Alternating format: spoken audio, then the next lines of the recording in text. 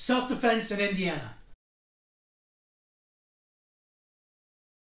Self defense is one of the recognized defenses in the state of Indiana a criminal charge. Basically, the defense is yeah, I did the crime, but there's a reason for it, it's a justification. And self defense is extremely powerful. And that's just not just something we're talking about as two lawyers talking to the audience. This law firm has successfully defended three cases this year alone at jury trial alleging self defense. That's huge.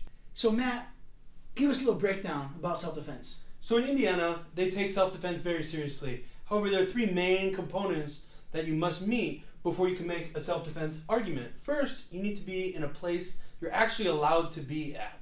Second, you have to not be doing something illegal. You can't be the aggressor. It has to come to you first. And then third, you have to be in the fear of death serious bodily injury, or the imminent use of force against you. In other words, if I get this close to you, you have all the right to hit me in the face. I don't have to hit you first.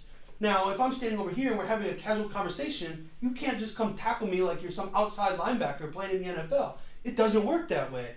But most importantly, Indiana, they actually have statute that says no person in this state shall be put in fear of legal jeopardy for defending themselves, somebody else, or their own property.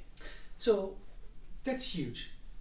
You know, you don't have to wait until you're hit first to actually defend yourself. So if Matt is very mad at me, we're screaming at each other, and he takes a step towards me, that's reasonable that I feel like he is going to use force against me, and I'm allowed to hit him to try to prevent him from using force against me. Do not have to wait to get attacked first. So those are the three requirements that a person must prove to use self-defense. But then self-defense even goes one step greater than that. The person has to reasonably believe that self-defense was necessary, and the way they defended themselves must be objectively reasonable. So basically, the situation as in the person who used self-defense in their shoes wasn't reasonable. Well, if we're both fighting, you take a step towards me, it's reasonable that I felt intimidated. I'm going to hit you back or hit you first. Now, the response has to also be objectively reasonable. What that means, very, very simple. If Matt takes a step towards me, I take a step towards Matt, and I pull out a gun and I shoot him, that's not reasonable because I essentially overreacted. And this is something that happens all the time. You will see case law after case law where somebody breaks into someone's home and the person shoots them. It is 100% allowed to use a bullet to defend your home. Now, what the problem is, these homeowners will unload round after round after round, and it's so over the top, the self defense goes away because their response was not objectively reasonable. That's something we see a lot. So, you have to believe the force is necessary, and the way you respond must be reasonable.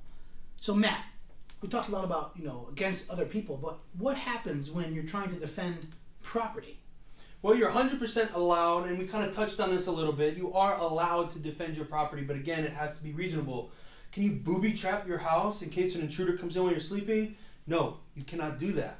If somebody comes and steals your potted plant from the front, can you shoot them? No, you can't do that. It has to be reasonable reaction to that. So if you if you throw one shot into them, if they break into your house, that's fine if it doesn't kill them, that doesn't give you the right to then continue until they die. It doesn't work that way. You have to make sure that anything you do is reasonable in the situation. No booby traps, don't go shooting people multiple times, and don't go shooting people for crazy reasons like a stolen potted plant.